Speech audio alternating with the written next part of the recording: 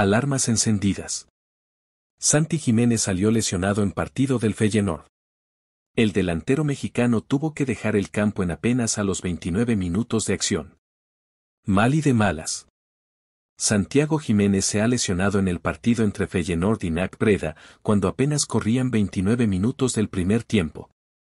El bebot sintió un tirón cuando intentaba tapar un balón y terminó tirándose en el pasto para que entraran las asistencias. Después de una rápida revisión, el mexicano fue sustituido por Ayase Hueda. Así fue la lesión de Santiago Jiménez hoy.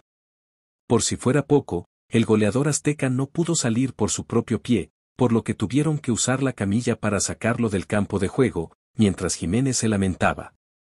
Poco más de cinco minutos después de que saliera el Chaquito Jiménez, Ayase Hueda se encargó de abrir el marcador gracias a un pase de Higgs Small y así poner el 1 a 0 parcial.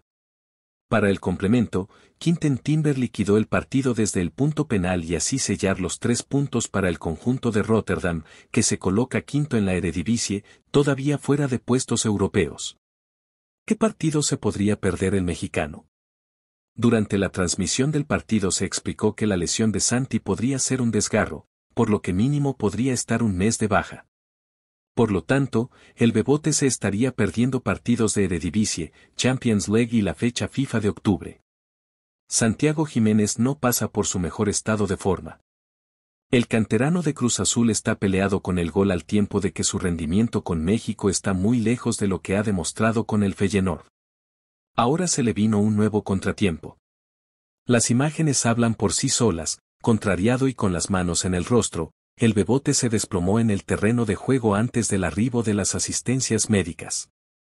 El personal médico incluso utilizó una camilla para sacar al jugador del campo mientras que el canterano de Cruz Azul se tapaba la cara.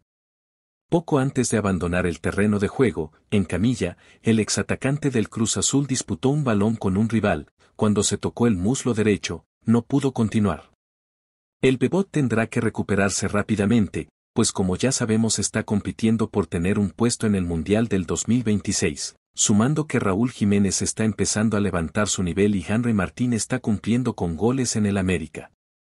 La presión puede ser el peor enemigo de Santi, si no logra controlar su mal momento, podría quedar fuera de la convocatoria de Javier Aguirre.